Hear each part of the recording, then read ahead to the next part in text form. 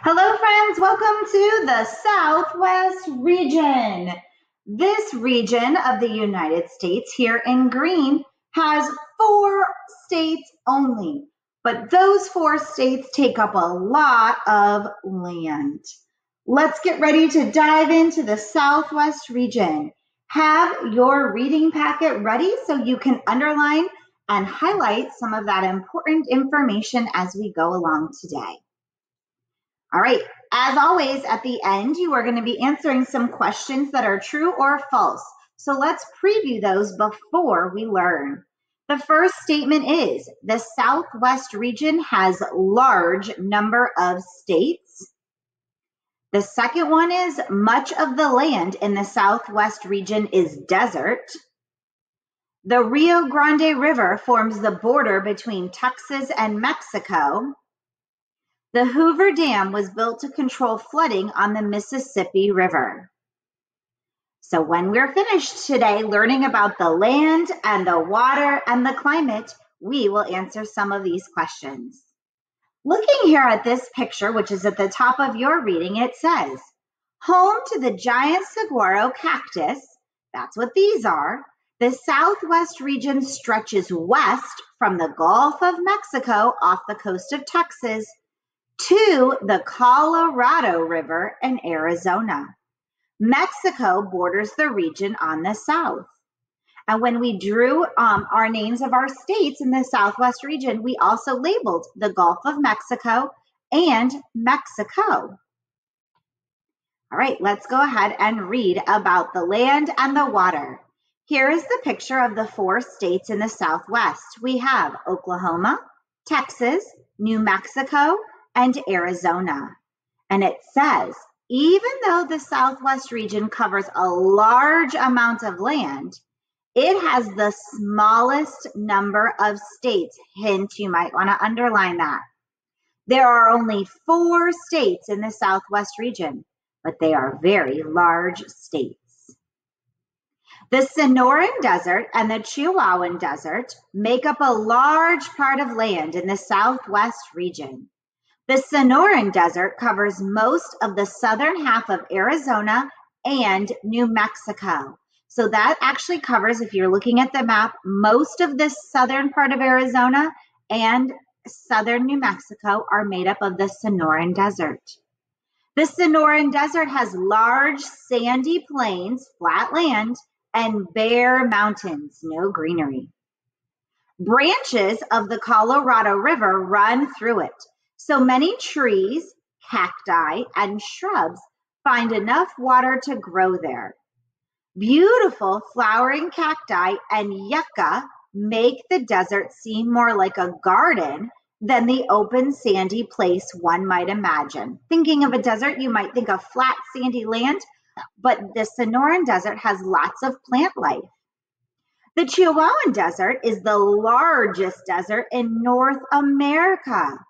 It is approximately 800 miles long and 250 miles wide. Most of the Chihuahuan Desert is in Mexico.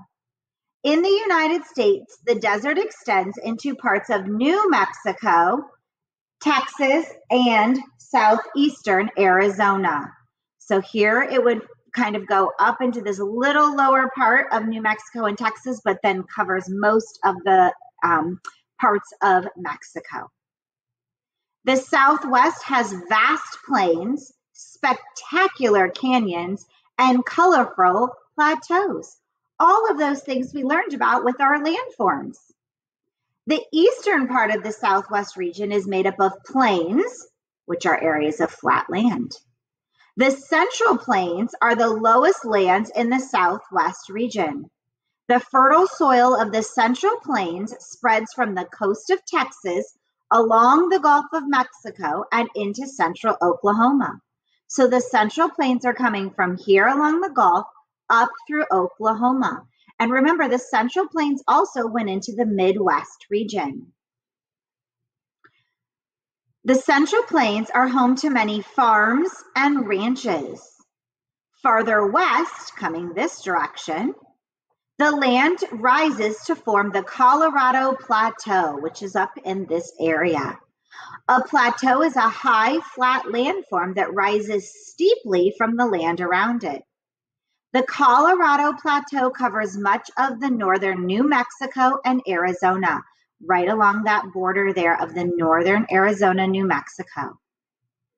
Most of the Colorado Plateau is fairly level, but it is crisscrossed by hundreds of deep canyons. We also talked about canyons last week with landforms. A canyon is a deep, narrow valley with steep sides. The largest and most famous of these canyons is the Grand Canyon. The Colorado River travels south and west through some of the driest parts of the country. Colorado River. Then it crosses into Mexico and ends, ends in the Gulf of California on the other side down in Mexico. The Colorado River is 1,470 miles long. Many smaller rivers flow into the Colorado. Rivers that join other rivers are called tributaries, so little rivers that flow into bigger rivers. Each tributary adds water and soil called silt to the Colorado. This silt gives the river its reddish brown color. Here is a picture to the right of some of the farms and ranches in the central plains of Texas and Oklahoma. Here down below is a picture of the Hoover Dam. Let's read about that now. The Hoover Dam is one of America's greatest manufactured structures, meaning it's man-made. Hoover Dam was built to control flooding on the Colorado River, underline note, and to store water. An area where water is stored is called a reservoir. The Hoover Dam was built more than 60 years ago. Lake Mead, the lake behind the Hoover Dam, provides water for many of the people in the Southwest region.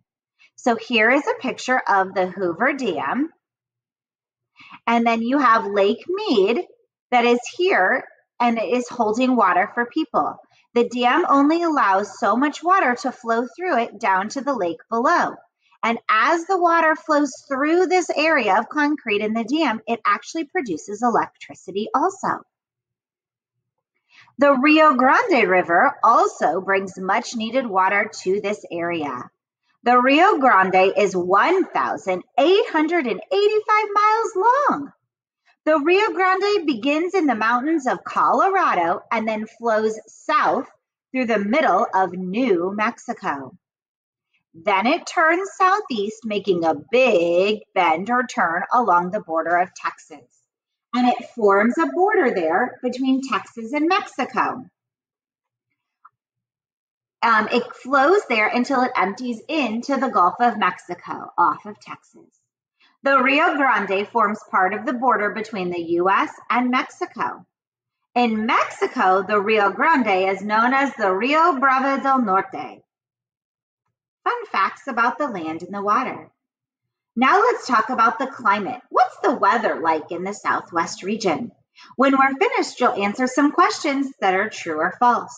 The statements you'll have are Many places in the Southwest get 300 days of sunshine a year.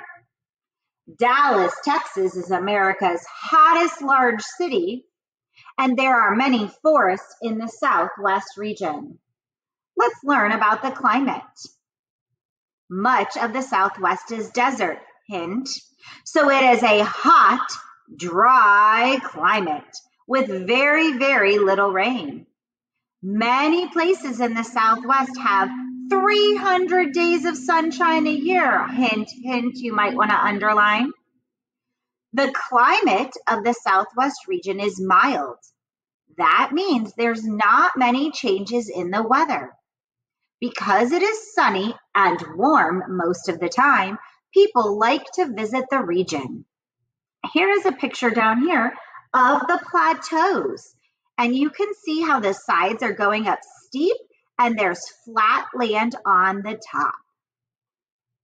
The eastern parts of Oklahoma and Texas, so that central plain area, does get enough rain to grow crops, but water must still be used carefully. When it doesn't rain for a long time, a drought can occur. A drought is a period of little or no rain. Droughts cause serious problems because they can hurt crops. If there's not enough rainfall for the crops to grow, they won't be able to. Here is a picture of a bighorn sheep.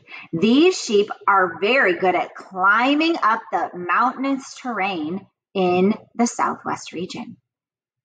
Much of the land in the Southwest region is bare, meaning nothing. Not enough rainfalls for forests to grow. Hint, you might want to underline that. Over time, plants, animals, and people have all adapted to living in this dry land. To adapt means to change in order to survive. The Navajo, for example, the Navajo is an American Indian or Native American group, learned how to grow corn and raise sheep with very little rainfall, which is something that's very hard to do. Desert animals such as the Mexican gray wolf, the great horned owl, the golden eagle, and the rattlesnake have adapted to the environment. During the day, the animals find hideouts where the sun cannot get them. So they'll go under bushes or down into burrows so the sun doesn't bake them. The bighorn sheep has adapted to the desert because it has big feet, which are good for walking on the rough terrain, which is what we just looked at. The bighorn sheep only needs to drink water every few days. The pocket mouse, here he is over here, doesn't need to drink at all because it gets all the water it needs from the food that it eats.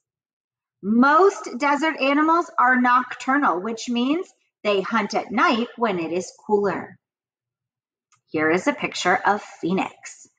Phoenix, Arizona is America's hottest large city. Underline this. During the summer, temperatures can soar to 115 degrees Fahrenheit. A hundred years ago, Phoenix was a small little town.